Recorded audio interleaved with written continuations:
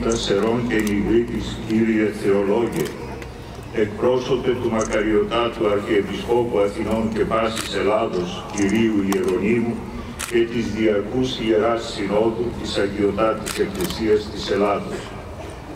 Ιερότατε Μητροπολίτα Μαρονίας και Κομωτινής Κύριε Παντελεήμων, τη Μενάρχα της Θεοσώστου Ταύτης Επαρχίας, εξοχότατε Κύριε εκπρόσωπε της εντύμου ελληνικής κυβερνήσεως, ιερότατη Άγιοι Αδελφοί,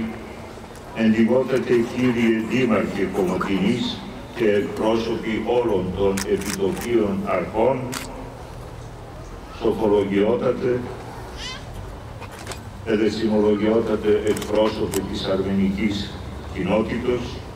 τέχνα ημών εγκυρίο αγαπητά.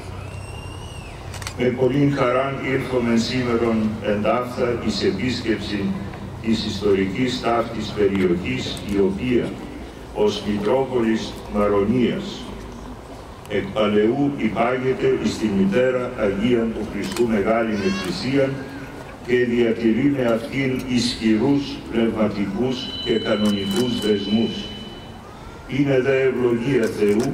ότι η συνάντησή μας πραγματοποιείται υπό τη σκέπη της εφόρου της πόλεως μας υπεραγίας Θεοτόπου,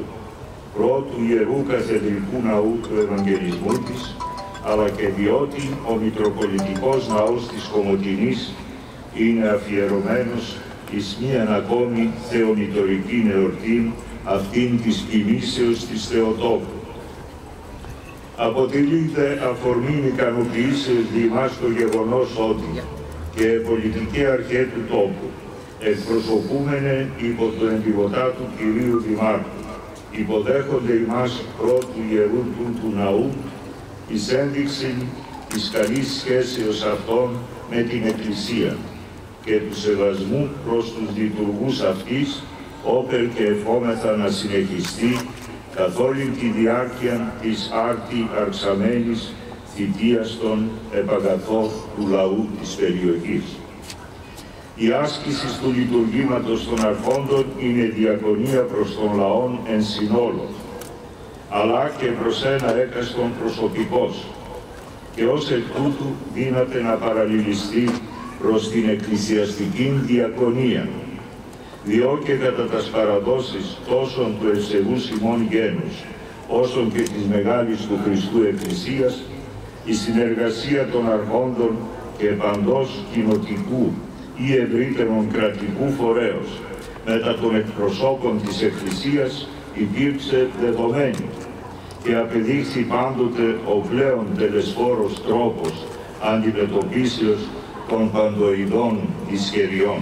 Άλλωστε, η σύμπραξη μεταλλήλων εις τα ποικίλα εγχειρήματα του καθημέραν βίου συνιστάται ήδη από αρχαιοτάτων χρόνων. Ο Οδυσσεύς, προκειμένου να διεκπαιρεώσει το δύσκολο εγχείρημα της εισόδου στο στρατόπεδο των αντιπάλων,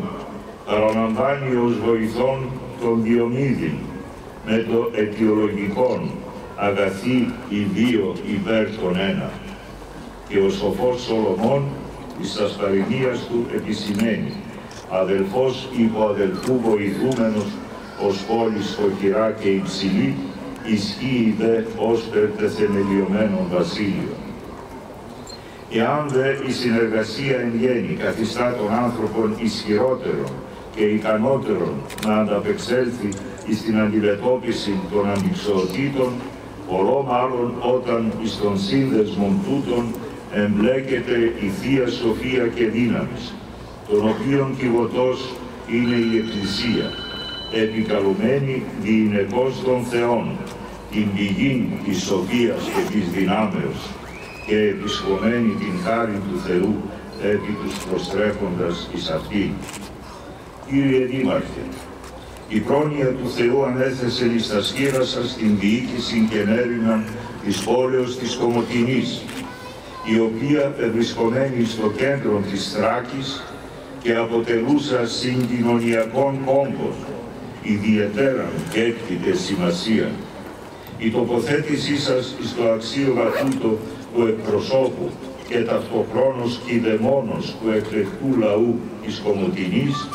τιμά ιδιαίτερος το πρόσωπό σας, αλλά και συνεπάγεται δια σας αντιστοίχως μεγάλας ευθύνας. Όθεν χαιρετίζοντες όλων των λαών της Κομωτινής, όλους τους συντιμότας μας, μαζί με την αγαπητή εντιμότητά σας κύριε Δήμαρχε, σας συγχαίρομαι για την πρόσφατον εκλογή σας εις το Δημαρχιακό Υπούργημα και σας ευχόμεθα πλουσίαν την άδανθρεν ενίσχυση εις την άσκηση